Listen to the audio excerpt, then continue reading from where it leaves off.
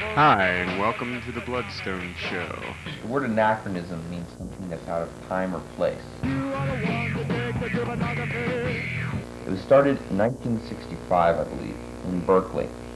All fighting in the SCA is on the honor system. The knights at that time wore as armor essentially trash can lids, motorcycle helmets, and fencing masks. There's also a safety system in the SCA. And about a million members worldwide.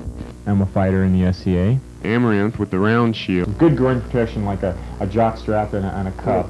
There are groups in Europe, in Japan,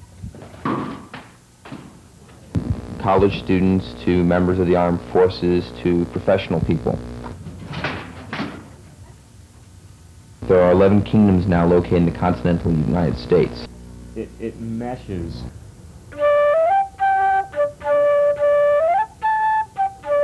You have to authorize with sword and shield first. It's supposed to be fun and safe for all who participate. This is made of 14 gauge steel. A gorget is a piece of armor that covers your neck. Hope you're enjoying the scenes of SCA fighting.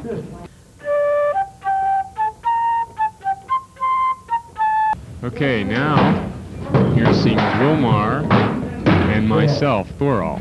Pittsburgh. The loser gets Pittsburgh. I love that.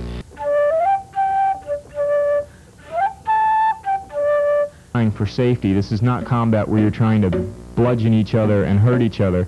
This is combat that most people are supposed to be able to participate in. This style is called Florentine. Most of human history has been the most common form of garment.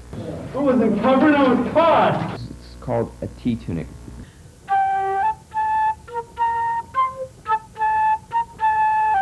Velcro is not is not period.